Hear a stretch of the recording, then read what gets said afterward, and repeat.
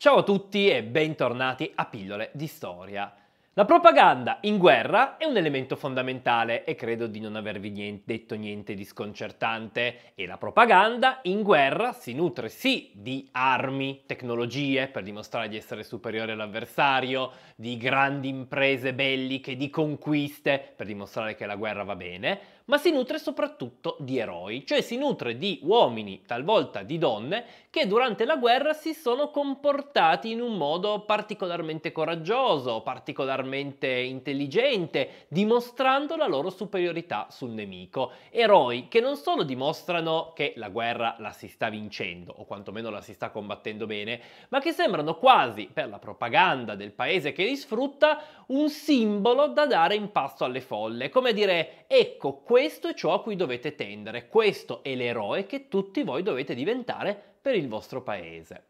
Inutile dire che durante la seconda guerra mondiale anche la propaganda fascista si nutrì di eroi, di soldati, di marinai, di aviatori che venivano premiati per le loro imprese, comparivano su foto, cartoline, materiale propagandistico, libri, talvolta addirittura film e fumetti per i bambini e diventavano in qualche modo un simbolo. Bene, uno di questi eroi della propaganda fascista era un sommergibilista e si chiamava Enzo Grossi. Enzo Grossi nel 1943 era probabilmente il più grande sommergibilista italiano, che è almeno quello più conosciuto in, in, Italia, conosciuto per aver raccolto due vittorie che avevano dell'incredibile, riuscendo ad affondare col suo piccolo sottomarino due corazzate americane, due di quelle navi che sembravano essere imbattibili e che nemmeno i grandi sommergibilisti tedeschi sembravano riuscire a scalfire ma lui c'era riuscito e ovviamente il regime lo sfruttò per questo.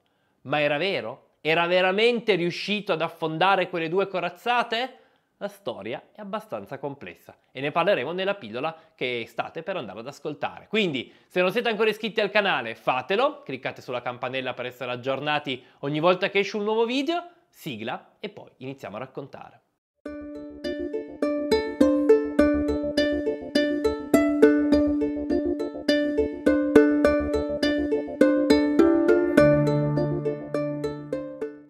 Enzo Grossi, pur essendo italiano, era nato in Brasile, si era poi trasferito nella sua patria d'origine, è tornato nella sua patria d'origine e qui aveva iniziato la carriera proprio in marina, concentrandosi fin dall'inizio proprio sui sommergibili che lo avevano sempre attirato. Non solo, ad agevolarlo nella sua carriera era stata anche la sua posizione politica che, a differenza di alcuni esponenti della marina che erano un po' più tiepidi col regime, magari più legati alla casa regnante, nel suo caso lo vedevano invece essere molto vicino al regime fascista e di idee strettamente mussoliniane. Forse anche per questo, o per i suoi meriti, non c'è modo di, di, capirlo, gli venne assegnato allo scoppio della guerra, o meglio gli era già assegnato prima dello scoppio della guerra, il comando di un sommergibile in, nel Mediterraneo, cioè il Medusa. Con il Medusa fino al 1941 farà una decina di missioni da, dalla zona della Corsica fino al Nord Africa, non riuscendo però mai a raccogliere nessuna vittoria, nessun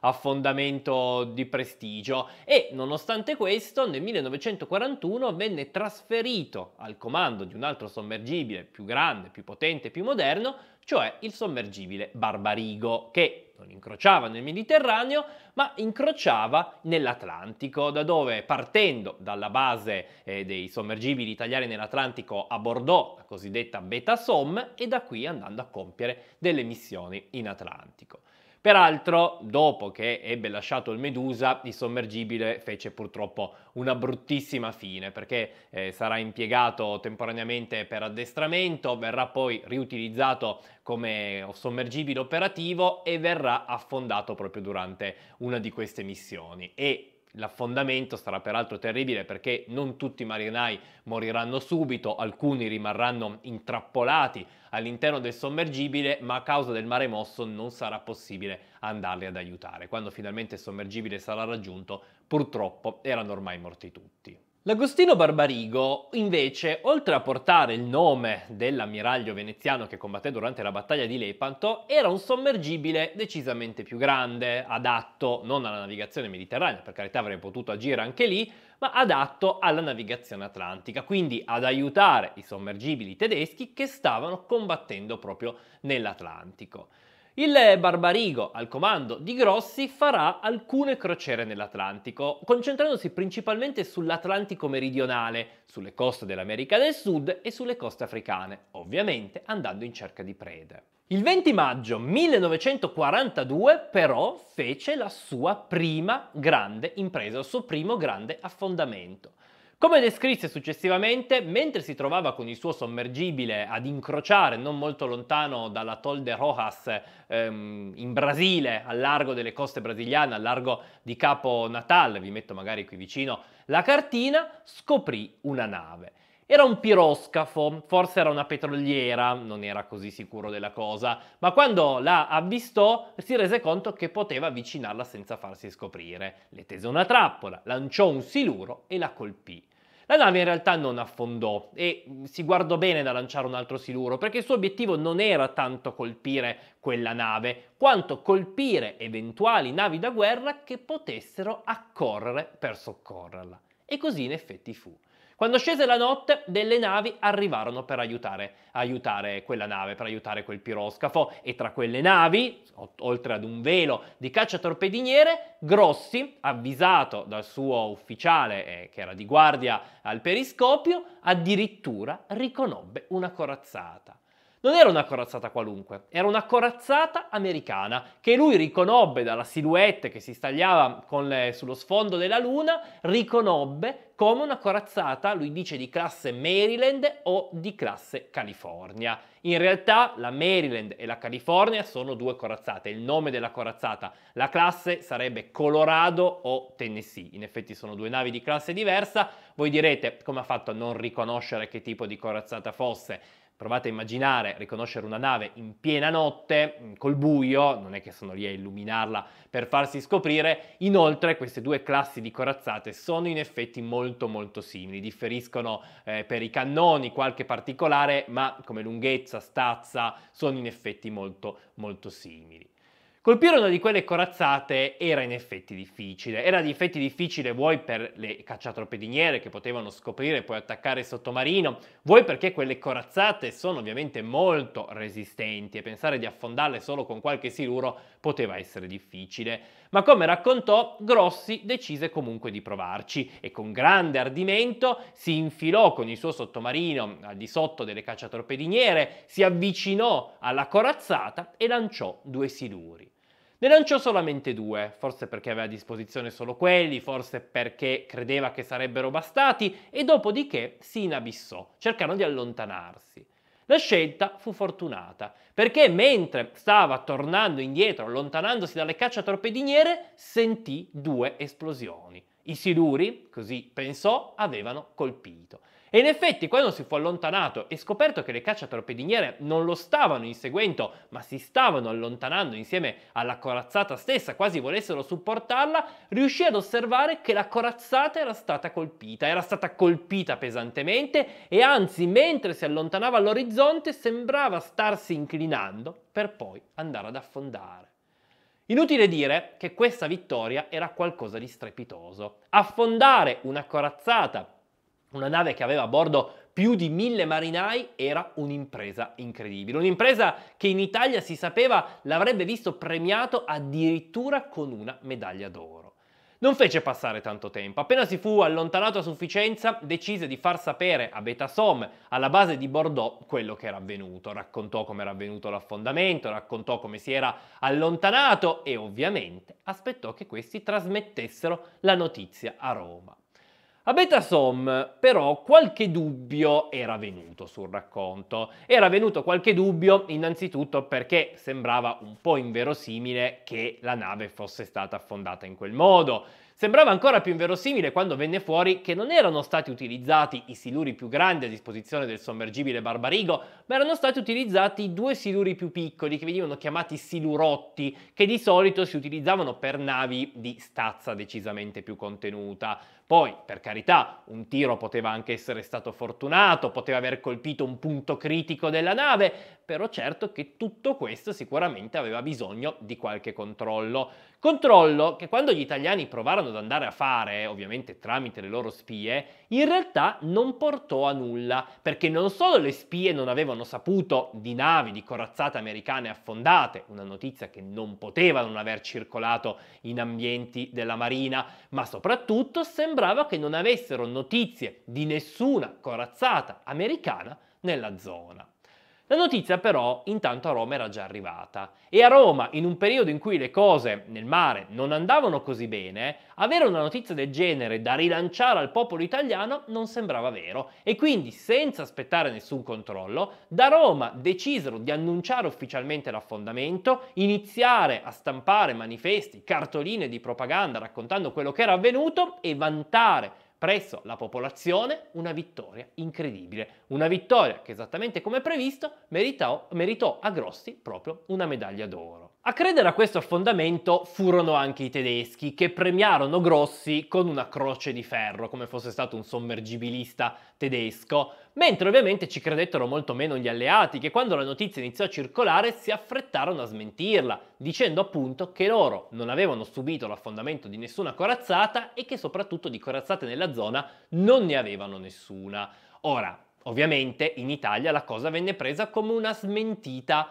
d'obbligo, una smentita che gli alleati avevano fatto non potendo ammettere una sconfitta così terrificante, una smentita che però non valeva nulla, perché loro avevano la dichiarazione di Grossi e quella bastava e avanzava. Ora la storia sarebbe già interessante se si fermasse qua, ma in realtà pochi mesi dopo, il 6 ottobre del 1942, Grossi fece un altro affondamento. Questa volta non si trovava al largo delle coste del Brasile, ma al largo delle coste della Sierra Leone in Africa, non lontano eh, dalla capitale, Freetown, e proprio mentre anche in questo caso eh, si accingeva di notte alla ricerca di prede, vide arrivare una nave. Le cose andarono non molto diversamente rispetto a qualche mese prima, anche questa volta ad avvistarla fu l'ufficiale incaricato della cosa, anche questa volta la sagoma della nave sembrava essere quella di una nave molto molto grande e soprattutto di una nave che meritava un attacco. Questa volta non c'era uno schermo di cacciatorpediniere, Grossi pensò forse eh, che il motivo era che la nave era sicura del, di navigare in quelle acque o forse che stava per andarsi a ricongiungere con un'altra forza, ma capì che non c'era tempo da perdere, per questo portò il suo sommergibile in immersione, si avvicinò il più possibile alla nave e quando fu a distanza adeguata lanciò quattro siluri. Quattro siluri che dopo essersi immerso sentì esplodere uno dopo l'altro in quattro esplosioni che non potevano non aver squassato quella nave. Quando riemerse a quota periscopio, vide che effettivamente la nave era stata colpita, che si stava inabissando e mentre lo faceva illuminata dalle luci dei riflettori, si rese conto che ancora una volta aveva colpito una corazzata americana. Questa volta che venne definita di classe Mississippi, anche in questo caso Mississippi in realtà è il nome della nave, ed era di classe New Mexico. Ancora una volta una grande corazzata americana affondata da Grossi. Anche questa volta la notizia arrivò a Betasom.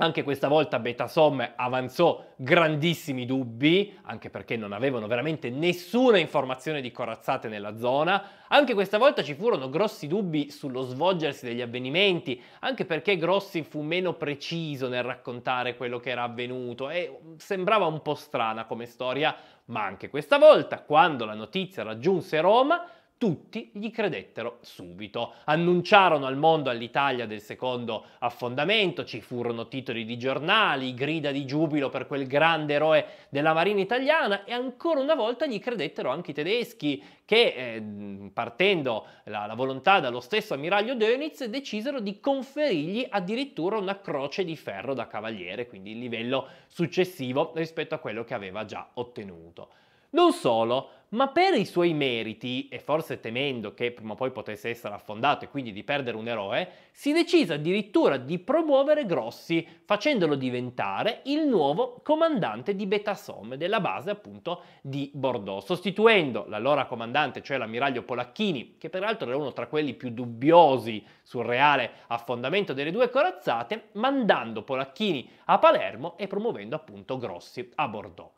Anche questa volta, inutile dirlo, gli americani smentirono tutto, anche questa volta la cosa non fu creduta. L'aver lasciato gli impieghi operativi forse gli salverà la vita, perché in effetti il Barbarigo che sarà poi trasformato in un sommergibile per portare del materiale, un sommergibile da trasporto, sarà in effetti affondato nel 1943 mentre si recava con del materiale verso l'Oriente. Di lui si persero tutte le tracce e probabilmente fu affondato proprio dagli alleati. A Betassom però Grossi continuò a comandare e dopo l'8 settembre, da fascista convinto qual era, decise di aderire alla Repubblica Sociale. Eh, fece parte ovviamente delle forze militari della Repubblica Sociale, eh, cercò di preparare dei corpi militari riunendo quei marinai e quei soldati di marina che si trovavano nella zona e continuò a combattere fino alla fine della guerra. Polacchini, che era stato da lui sostituito, invece era stato mandato a Palermo, una piazza decisamente meno importante, dove però si fece notare per le sue grandi capacità dal punto di vista logistico, tanto da meritarsi anche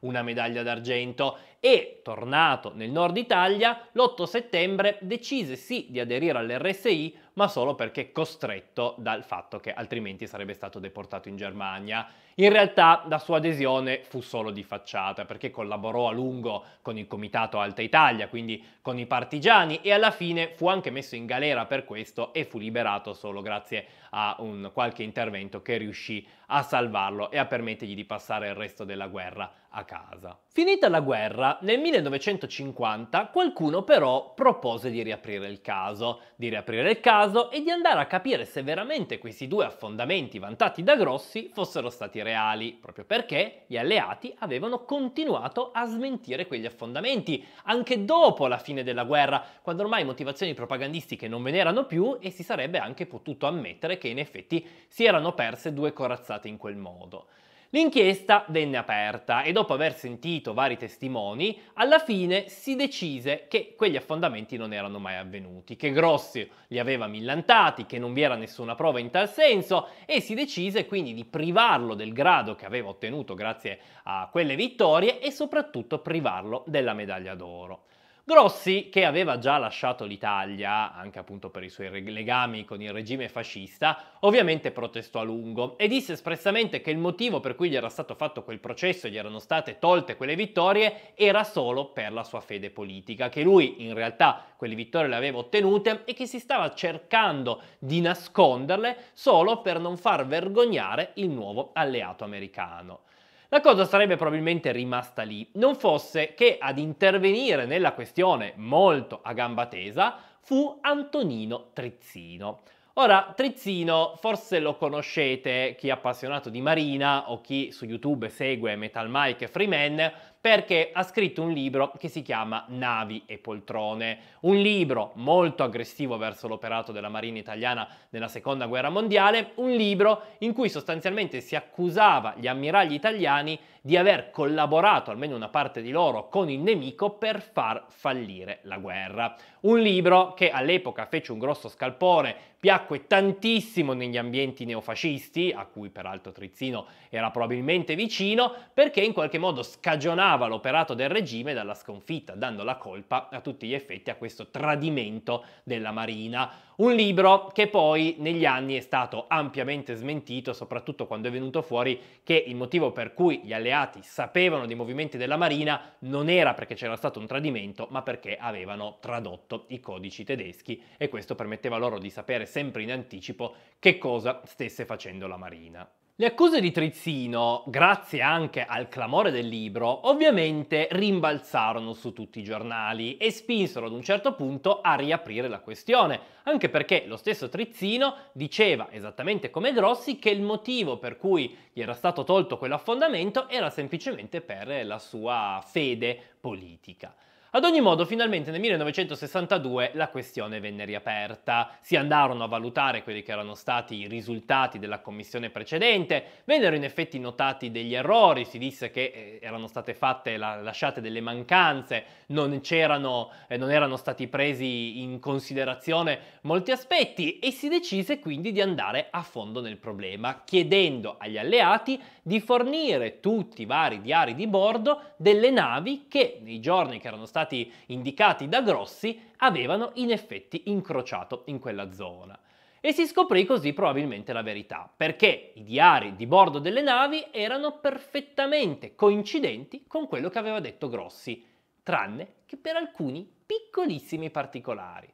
Nel primo caso, l'affondamento che sarebbe dovuto avvenire al largo delle coste brasiliane, in effetti inizialmente le cose erano andate come aveva detto Grossi. Un piroscafo, il comandante Lira brasiliano, era stato in effetti colpito da un siluro. Ad avvicinarsi per aiutarlo però non era stata una corazzata, ma era stato un incrociatore, il Milwaukee, che in effetti come vagamente come dimensioni, come lunghezza, potrebbe ricordare una corazzata e in piena notte aver mandato in errore i eh, sommergibilisti italiani. Quello che però avvenne quando il Milwaukee si avvicinò è che la nave riuscì a soccorrere la comandante Lira e a tornarsene senza nessun problema indietro in patria. Quindi, se veramente quei due siluri sono stati lanciati, non hanno in nessun modo colpito la nave e l'errore, così giunsero a dire i giudici, fu nell'aver interpretato delle, dei rumori diversi come delle esplosioni e nell'aver scambiato l'allontanamento della nave che in mezzo al mare mosso spariva all'orizzonte come un suo affondamento. Insomma, la prima corazzata non era una corazzata e non era neanche affondata.